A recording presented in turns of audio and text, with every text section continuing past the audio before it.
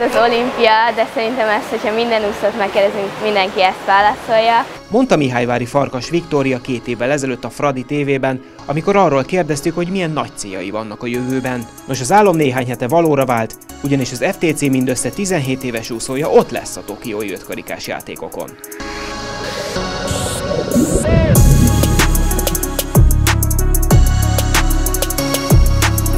Már nagyon várom, nagyon izgatott vagyok, kicsit még ideges így az utolsó megoldatlan ügyek miatt, amik most már lassan megoldódtak, de nagyon várom, és egy kicsit félek is. Én így egyedül leszek kint, ugye persze ott lesz a magyar csapat, akik közül azért ismerek elég sok embert, de, de ugye az edzőm nem jön ki velem, és így tulajdonképpen egyedül kell kimennem Tokióba, ami eléggé messze van.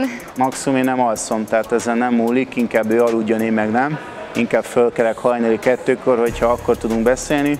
Ő mindenképp megpróbáljuk a lehető legjobbat kihozni belőle, akár videó, chat formájában is megpróbáljuk mindent megbeszélni. Azért szeretem a személyes kontaktot, amennyire csak lehet, és szerintem ő is igényeli, úgyhogy megpróbáljuk a lehető legjobbat kihozni a helyzetből. Ha kell, akkor föl kell a hajnali kettőkor, ezzel már nem múlik. Kétségkívül egy olimpia még több előkészülettel jár, mint akár egy Európa vagy világbajnokság. Vikinek az elmúlt hetekben ezekhez is hozzá kellett szoknia, és akkor a ruhapróbák vagy az eskütétel csak a jég egy csúcsa volt. Ugye életem első eskütétele volt, nagyon-nagyon élveztem, nagyon jó volt, bár én nem vagyok az az igazán társasági lény, úgyhogy az elején és a végén nem beszélgettem annyit, de azért voltak, akikkel beszélgettem, és nagyon jól éreztem magamat, és hát egy számomra egy nagyon különleges alkalom volt. Sokkal több ruhát kellett felpróbálni, és nem csak így odaadták, hanem úgy ott felpróbálni minden egyes ruhát, hogy biztosan jó legyen a méret, ha nem jó, akkor kicseréljük. Az nagyon-nagyon hosszadalmas volt, nagyon sok, tényleg nagyon sok ruhapróbán voltam, szaladgáltunk össze-vissza, mit, hol, mikor kell átvenni, de, de nagyon jó érzés volt igazából elmenni és felpróbálni, majd utána hazajönni velük. A két évvel ezelőtti interjú alkalmával Viki még szerényen, rövid mondatokkal válaszolt. A sikerek és ezáltal az egyre sűrűbb média megjelenések miatt ezen a téren is sokat fejlődött. Személyiségben is nagyon sokat fejlődtem, kicsit magabiztosabb vagyok most már, és elkezdtem társasági életet is élni a versenyek miatt. Igen, emlékszem, még volt olyan négy nemzetversenyek, ahol itt senkivel nem beszélgettem konkrétan, és azóta már lassan majd, hogy nem nekem van a legnagyobb hangom a csapatba. Elmerem mondani a gondolataimat is, amik így eszembe jutnak. Általában nagyon sok gondolatom van, ezért is szoktak az interjúim ilyen nagyon hosszadalmasak lenni. És a már a sikerek. A budapesti felnőtt Európa bajnokságon Viki megmutatta, hogy most már számolni kell vele. A 400 méter vegyes döntőjében csak a szám világklasszisa hosszú Katinka előzte meg, így a fiatal fradista ezüstérmet nyert.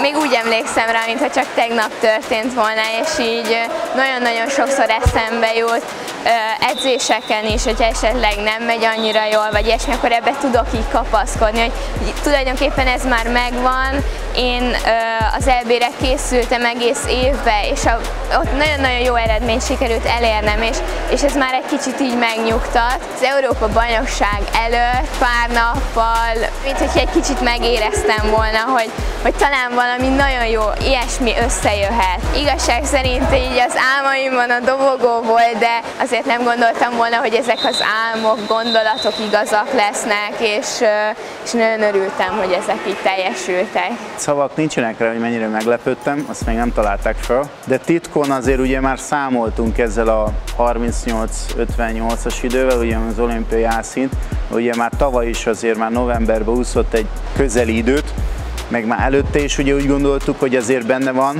csak ugye az volt a kérdés, hogy mikor jön ki. Kell hozzá az a versenyszituáció, és azt az Európa bajnokságon megvolt. Természetesen arra is készültünk, ugye arra próbáltuk a lehető legjobb formát kihozni, és szerintem sikerült is. Úszonk a 400 vegyes mellett 1500 méter gyorsan is rajthoz áll Tokióban, ugyanakkor előbbi számban a jelenlegi idejével akár döntőt is úszhat, így felvetődik a kérdés, hogy jobban készülnek-e a rövidebb távra.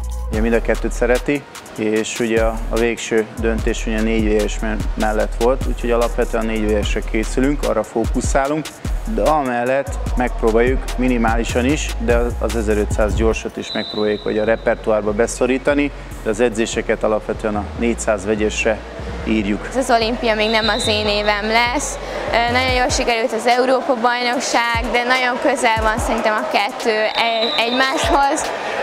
Úgyhogy inkább a 24-es vagy a 28-es olimpiát tekinteném, vagy mondanám annak, hogy ott már talán meg tudom mutatni magamat. Viki maximalista. Mind az edzéseken, mind a versenyeken többet szeretne elérni, és ez még akkor is igaz, ha ilyen fiatalon élete első olimpiájára készül. Hát aki azt mondja, hogy nem akar nyerni, az hazudik. Hát innen indulunk ki. Természetesen a realitás az megint más. Fiatal még, viszont már a felnőtt mezőnybe tartozik, szeretnénk egy olyan eredményt, amivel utána későbbi időket meg tudja alapozni, és az olimpia igazából neki egy ilyen jutalom ajándék lesz, és ezzel a tudattal is megyünk ki, vagyis ő megy ki az olimpiára.